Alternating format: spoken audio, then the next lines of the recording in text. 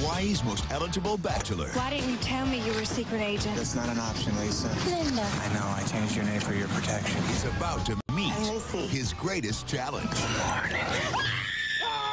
Now, Lucy lost her short-term memory. every day he's got to start from scratch This is her. to get the girl. Pretend you're attacking me so she pulls over. What do you think you're doing? Enough! 50 first dates. Are you okay? Yes, I'll be right back. Rated PG 13. Opens February 13th.